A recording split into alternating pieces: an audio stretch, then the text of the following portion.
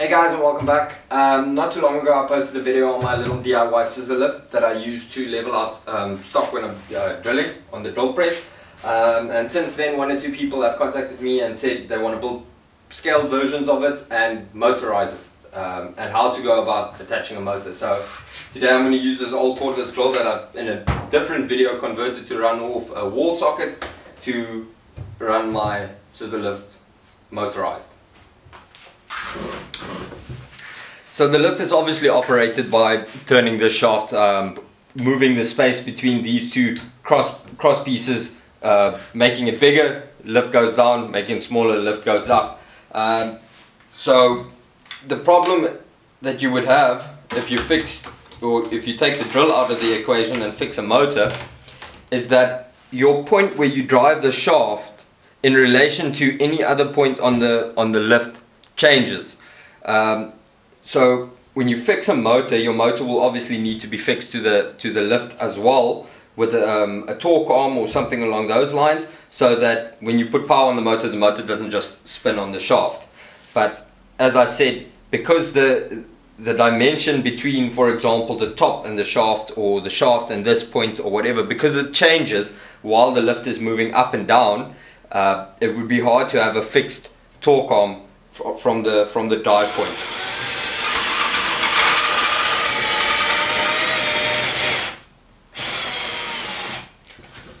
So what I'm going to do is instead of driving on this side, I'm going to turn the lift around and fit the the the, the motor on this point because this point uh, is stationary. When the lift is moving up and down, the, the distance between the, the, the rod and, for example, this, this cross here does not change.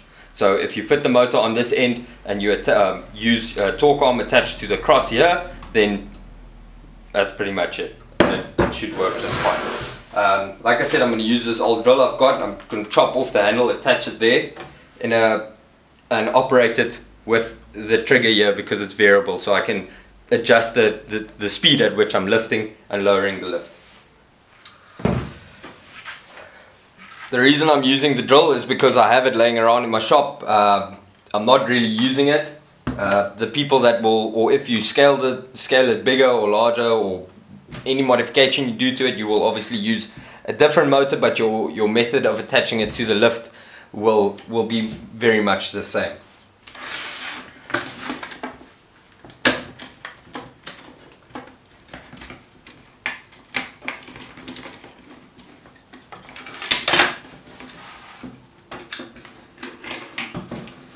So this is pretty much what I want. Uh, I don't want to just attach the motor straight to it because it reduces their, uh, through the gearbox giving me more torque and using the chuck would be just I could just clamp it or, or grip it on, onto the rod there will be the easiest. If you use a different motor uh, when you purchase obviously you will need some kind of coupling or, or something to attach it to the shaft. Um, now because there's no physical fixing between the gearbox and the motor here I am going to chop off the head of the drill and place it back over there just to keep the whole assembly together.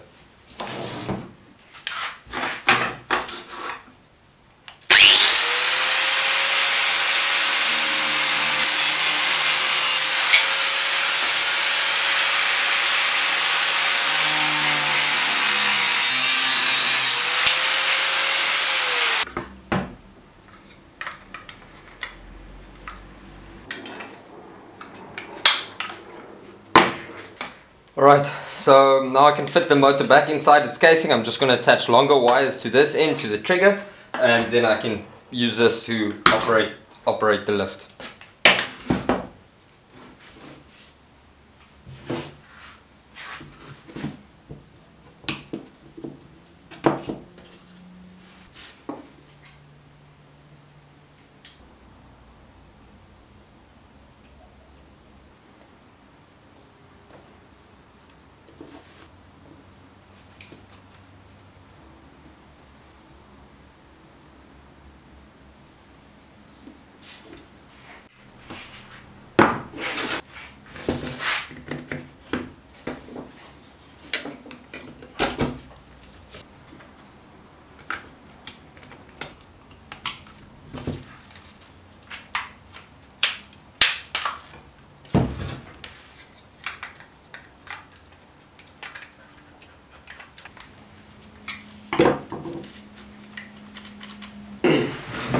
Okay, so now I've got my motor, I've got my trigger to operate it.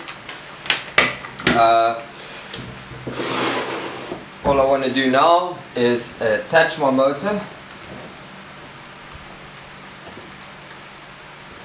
and finally attach a torque arm. Um, so irrespective or, depending on what motor you use, you would attach your motor with some sort of coupling on the same manner on the on this rod here, and then fit a torque arm to the to the cross brace here to so the motor is is stable. That's what I'm going to do now, and then we can test. Okay, so for a for a torque arm, I've took these two pieces of aluminium flat bar and attached these one of these uh, 90 galvanized brackets that you can buy at the hardware store uh, to them and I will be fixing them like this that and then just use a hose clamp to tie it around the, the motor so the motor can't turn on its own. Um, so I'm going to do that quick and then test it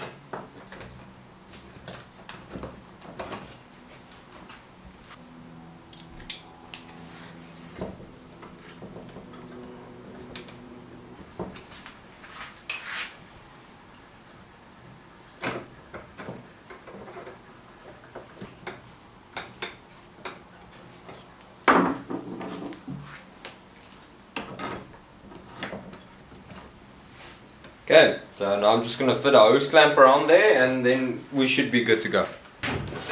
Okay, so here's the drill, the torque arm, just attached with a, just add the hose clamp there.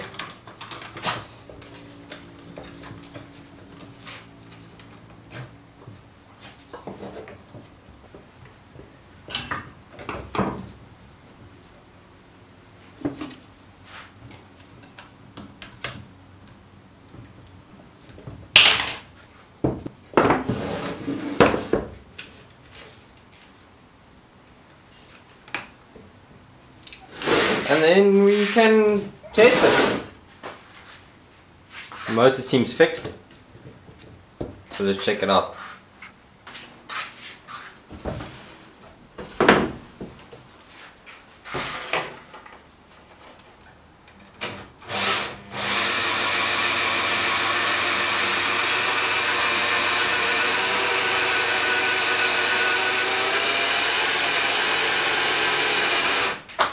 And that's it everyone, the, it's motorized. So the main difference being moving your uh, drive side from, from this point onto this end and fixing the motor to this part here which is like I said it doesn't move the, the distance between the shaft and your cross brace there doesn't change so you can fit your torque arm or whatever um, uh bracket you make to fit the motor to the design um, to the side.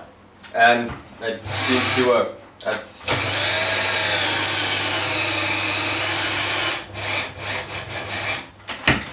and that's it. Uh, thanks for watching. If you enjoyed the video, remember to subscribe. And if you have anything to add or want to say anything, just leave it in the comment section below.